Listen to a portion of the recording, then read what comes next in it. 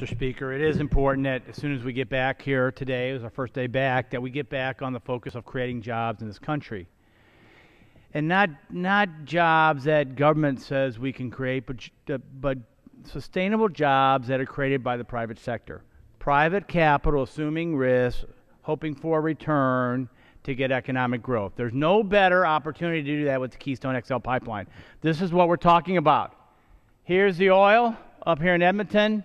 There's already a pipeline that goes down into my, my district, actually, Patoka, a, refinery in Wood River, and a, a new uh, refinery also in, uh, in the eastern, central eastern part of the state of Illinois. The Keystone XL would be this blue line, which will bring more crude. Why do we need another pipeline, a bigger pipeline? Because there's so much crude oil up there in Canada, and they really don't have the ability to refine it. They really don't have the ability to market it let's get this crude to, uh, to U.S. refineries so that we can then access it to our markets.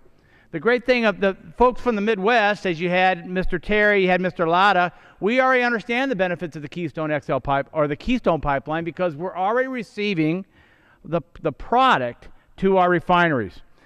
This is the oil sand. It's just oil that coats sand.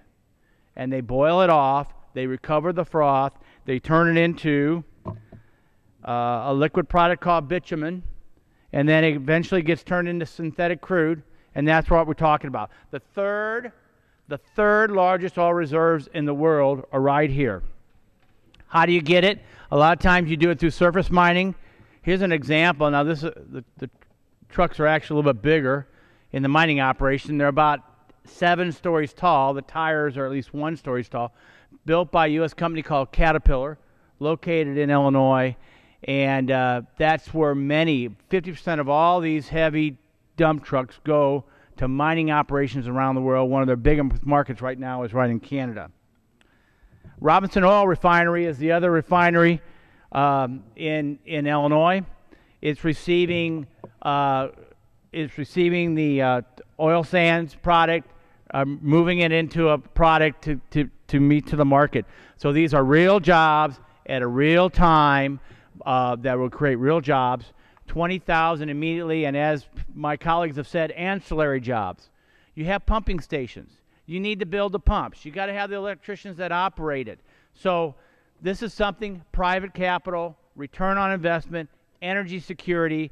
The president says he believes in the free for, free flow of oil when he's trying to address Ahmadinejad in Iran and the Strait of Hormuz. There's no better free flow of oil than, than permitting the Keystone XL pipeline. Thank you, Mr. Speaker, and I yield back my time.